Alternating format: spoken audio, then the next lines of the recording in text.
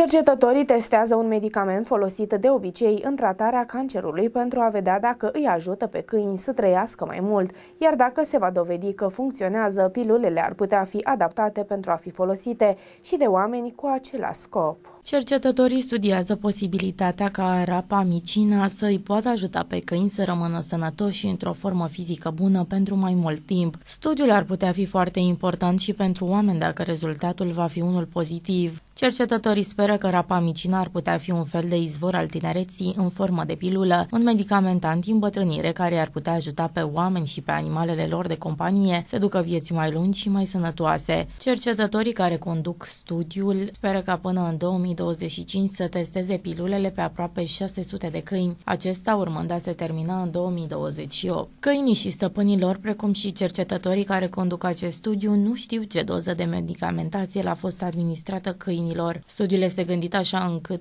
în timp ce unii câini primesc pilule adevărate, alții primesc pilule placebo. În acest fel, cercetătorii speră că își vor putea da seama de efectul real al medicamentului asupra duratei de viață a câinilor. Unul dintre stăpânii câinilor care participă la experiment a spus că este convins că după doar câteva luni de când câinele lui a început să primească tratamentul, a observat deja o schimbare. Am aruncat o minge mică în curtea din spate și l-am văzut cum sărea pe peretele nostru de piatră. Părea Părea pur și simplu că avea mai multă energie. Stăpâna unui alt câine care a primit pilulele anti-îmbătrânire a spus că s-ar putea să fie doar o iluzie. A observat că părul animalului ei de companie a început să își recâștige culoarea originală după ce a început tratamentul săptămânal, relatează Digi24.ro.